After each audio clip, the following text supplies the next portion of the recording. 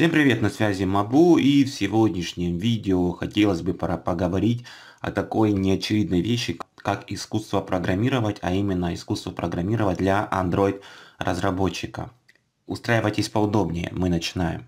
Если вы хотите стать Android-разработчиком и сделать это максимально оперативно и качественно, если вам нужна помощь по выходу на рынок, на котором вы сможете самостоятельно разрабатывать Android-приложения, как на заказ, так и создавать свои собственные проекты, приносящие доход без вашего участия, если вы хотите освоить новую профессию, которая позволит вам не беспокоиться о своем будущем и, конечно же, настоящем в современных условиях нестабильности и кризиса, если вам нужна моя консультационная помощь по трудоустройству по профессии Android-разработчика, разработчика, тогда я приглашаю вас на свой курс, построенный на индивидуальной основе Android-разработчик за 3 месяца. На этом курсе я сделаю из вас Android-разработчика, владеющего всеми актуальными современными технологиями. Обучаться можно абсолютно с нуля, без всяких знаний в программировании. После обучения вы сможете разрабатывать абсолютно любое мобильное приложение под систему Android, а также у вас в портфолио будет два разработанных мобильных приложения и два отзыва. Кроме того, я помогу вам выйти на рынок разработки разработки мобильных приложений под Android и окажу консультационную помощь по трудоустройству на позицию Android разработчика. Если вы в нынешних кризисных условиях хотите обезопасить себя и освоить профессию, которая позволит вам обрести экономическую безопасность и стабильность, тогда я предлагаю вам записаться на мой курс Android разработчик за 3 месяца. Я помогу вам стать профессиональным Android разработчиком, тем самым вы не будете зависеть от экономической ситуации в стране в целом и от работодателя. И даже сможете построить свой небольшой бизнес. Все ссылки для записи и консультаций есть в описании под видео. Итак, вот вы, допустим, закончили какие-то курсы или научились применением определенных технологий. Вы делали свои небольшие проекты, которые были просто для проверки данной технологии. То есть это не конкретное целое мобильное приложение, а применение какой-то конкретной технологии. Вот вы садитесь писать свой будущий, свое будущее мобильное приложение, то есть какой-то реальный проект, который захотите потом монетизировать, и вы знаете, что, допустим, у вас здесь будет, будут данные храниться глобальные на базе данных MySQL, будете на сервере, да, будете эти данные получать через, ну, сервера через библиотеку Retrofit, при получении, при загрузке приложения вы будете мигрировать эти данные в базу данных на устройстве SQLite и работать с этой базой данных, данных на устройстве через библиотеку Room. То есть вы понимаете, что для внешнего вида вы будете использовать Material Design, все очень часто будете использовать Recycler View. Ну, в общем, вам понятны технологии, которые вы будете использовать. Вы подключаете все необходимые библиотеки и начинаете накидывать экраны, да, как вы видите это все, ну, макеты накидали там. И тут вы приступаете к первой сложности. Вы, вам нужно реализовать какой-то несложный функционал. И вы знаете, как его реализовывать, но как только вы начинаете писать код для реального проекта, у вас ступор. Вы не понимаете, что вам и как делать. Это проблема отсутствия умения программировать. Она с, ней сталка... с ней сталкиваются абсолютно все. Э, в основном ее не, уда... не удастся решить и с посторонней помощи она решается только с опытом и набиванием шишек. Но все же ее можно решить, э, как бы облегчить э, со сторонней помощи. Тут нужно развивать свое умение мыслить как программист, просчит, просчитывать весь функционал, который вам нужно реализовывать, и применять метод нескольких мелких подходов с, с расширением вашего влияния на функционал.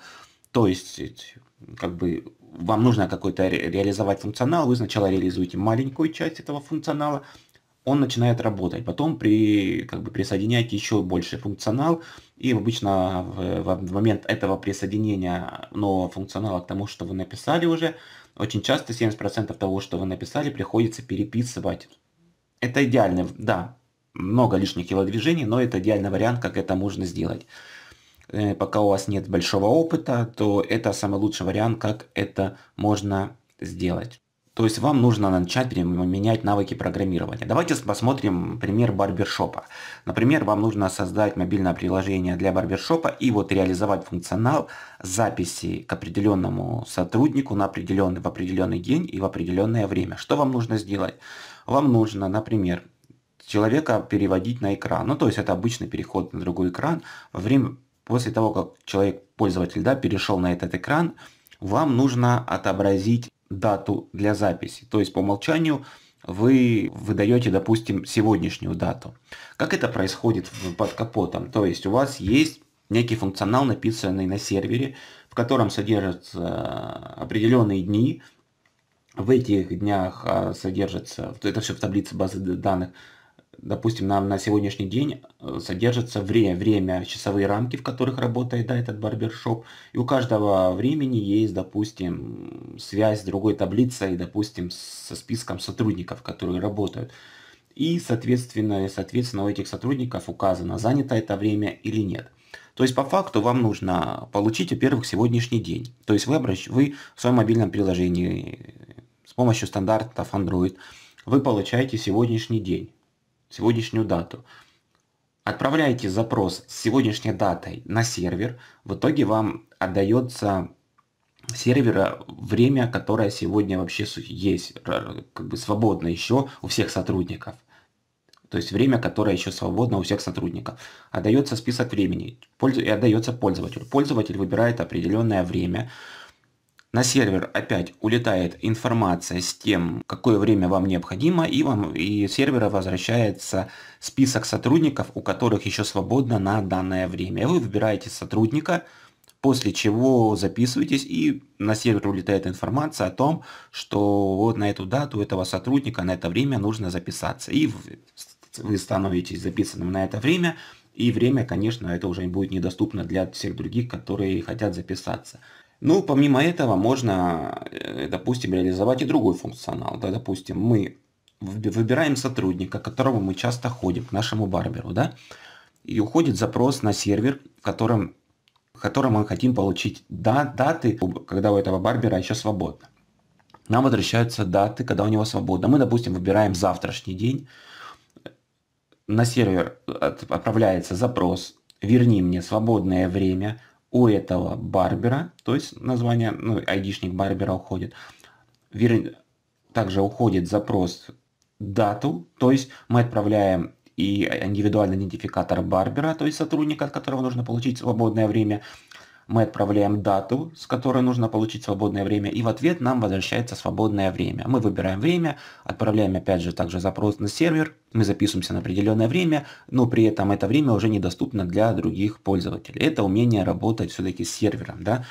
На своем курсе Android-разработчик я этому обучаю на, если я не ошибаюсь, на шестой неделе. То есть это второй месяц, шестая неделя. Итак, вы можете этот функционал реализовать по-разному. И по выбору первоначально. То есть тут опять же, тут же по факту трехступенчатая система. Выбираем дату, выбираем время, выбираем исполнителя, кто вам будет оказывать услугу. Либо выполняем, выпол, выбираем исполнителя, выбираем дату, выбираем время. Можем сделать функционал выбора времени, по времени показывается, какой день у этого барбера на это время есть свободные места. То есть тут функционал. И этот функционал нужно съедать по частям. То есть сначала мы реализуем первую, первая часть, мы реализуем функционал по запросу, допустим, даты. Вторая часть функционала дата возвращается. Третья часть функционала мы выбираем определенное время. Четвертая часть функционала получаем после отправки времени. Мы получаем четвертую часть функционала список барберов, которые свободны в это время.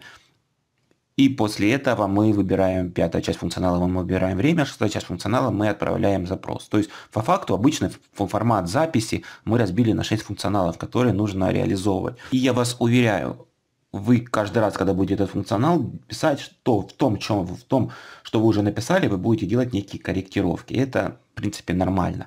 И это и есть то самое искусство программировать, когда вы разрабатываете общие, скажем, алгоритмы по выполнению этого функционала, вы представляете, как это должно происходить, прописываете на бумаге или в электронном формате, как и зачем у вас будет происходить, и потом поэтапно реализуете. реализуете. И, как, и в тот момент, когда вы будете реализовывать, вы начнете разбираться в искусстве программировать.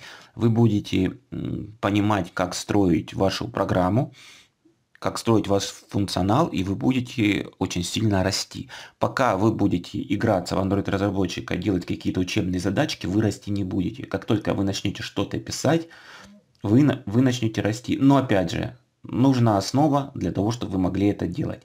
Эту основу мы даем на курсе Android разработка. Собственно, там, не, там основа не только, она сама основа на первом месяце, да, но и научитесь вы работать и с сервером, и с базой данных на устройстве, и делать все это в формате MVVM, в архитектурном, по архитектурному паттерну VVM, и делать это все в параллельных потоках, и сможете реализовывать функционал вот этой миграции самой. Ну да, и мы максимально я вас учу искусству программировать. Не просто так. Так, чтобы цель курса, чтобы вы после курса смогли сесть и написать в одиночку абсолютно любое мобильное приложение. Если вы хотите стать настоящим Android-разработчиком, а не играться в него, то приходите на курс. Но в целом это все, что я вам хотел сегодня рассказать. Вот такое вот интересное, вот такая вот интересное, вот такое вот интересное явление – это искусство программировать. С вами был проект Мабу. На этом у меня все. Всем пока.